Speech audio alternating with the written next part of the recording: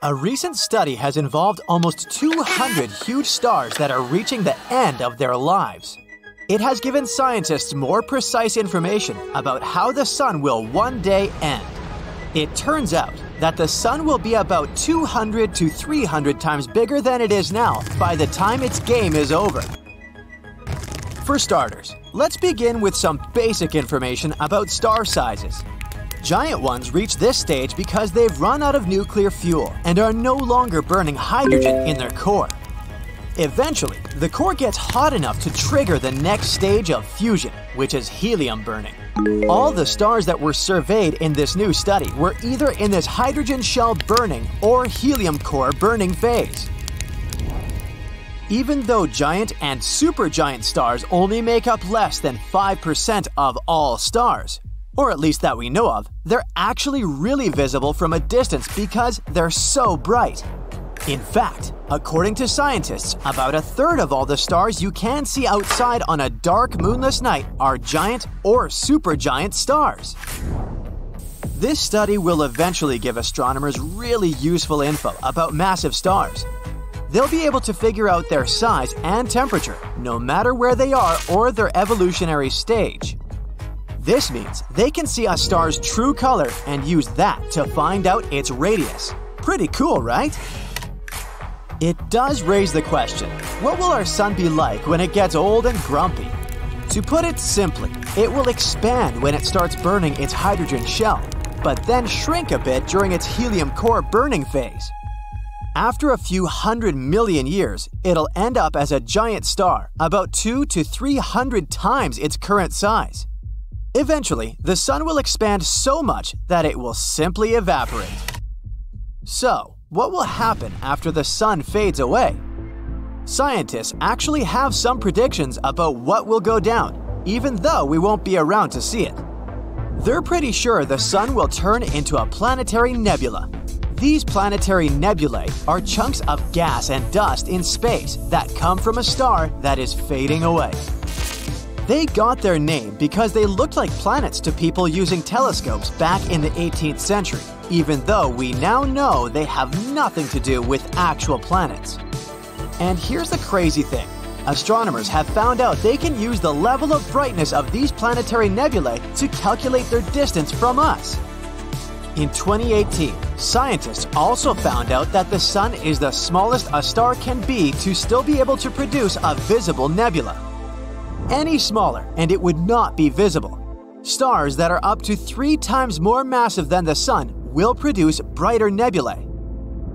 The Sun is currently 4.6 billion years old, but it's estimated to have another 10 billion years until its end. The Sun is also getting brighter with each year.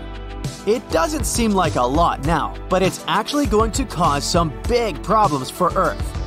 In about a billion years, the sun will be too bright for life on Earth to survive. Our oceans will evaporate, and it will be too hot for water to form again. So, unless we find a way to escape from this planet, humanity only has about a billion years left. Will Earth still be around by the time the sun turns to dust?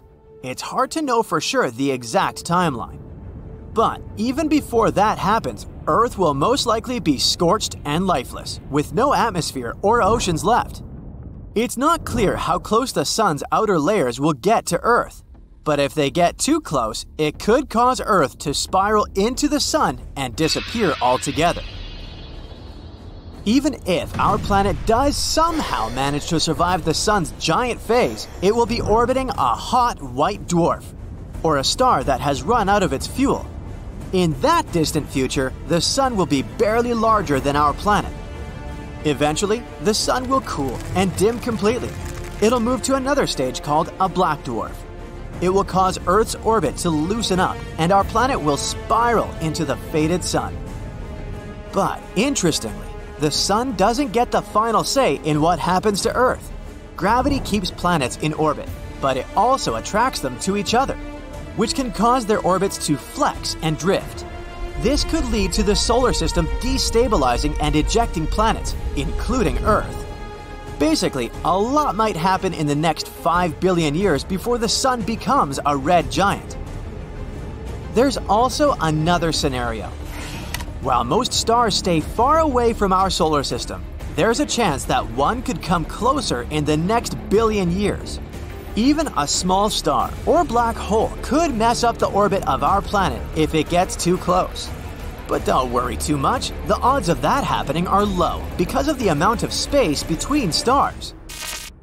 Our Sun is a solitary star, so there's little to no chance we'll be able to catch a ride with another one nearby. However, many stars in our universe have companions.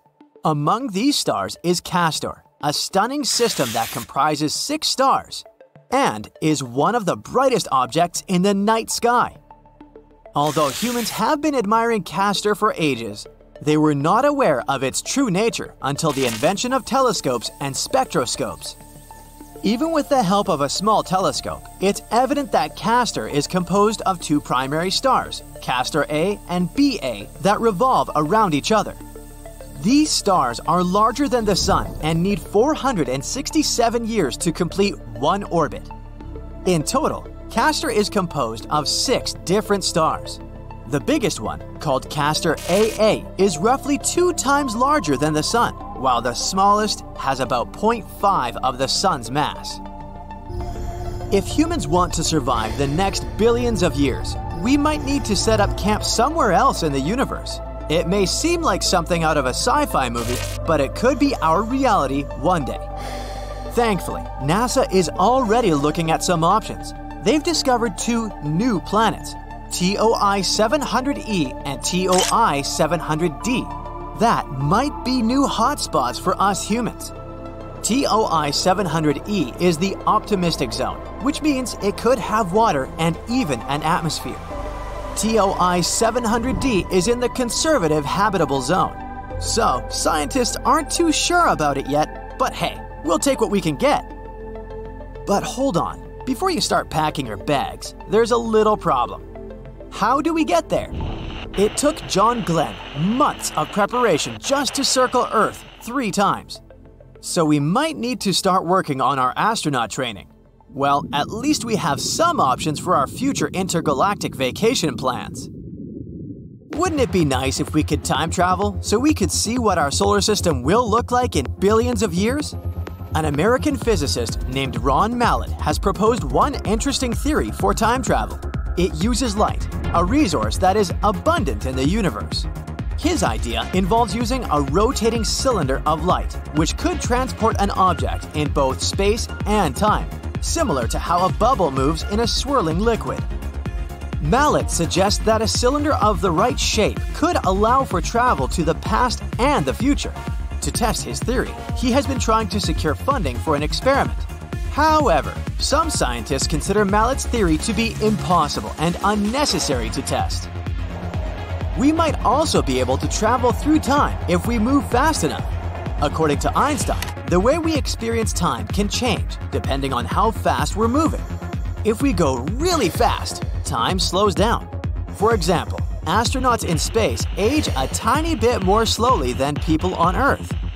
This is important for things like GPS, which would be incorrect without special adjustments because of how time is affected. That's it for today. So hey, if you pacified your curiosity, then give the video a like and share it with your friends. Or if you want more, just click on these videos and stay on the bright side.